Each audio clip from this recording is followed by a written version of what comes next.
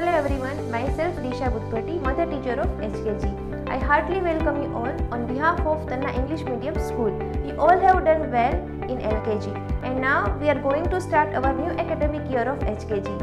We will learn so many new things by doing lots of fun and activities. So you all are ready for that?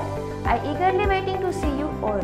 Our next academic year is going to start on 5th of April 2021. So, we will meet on our online classes. See you soon.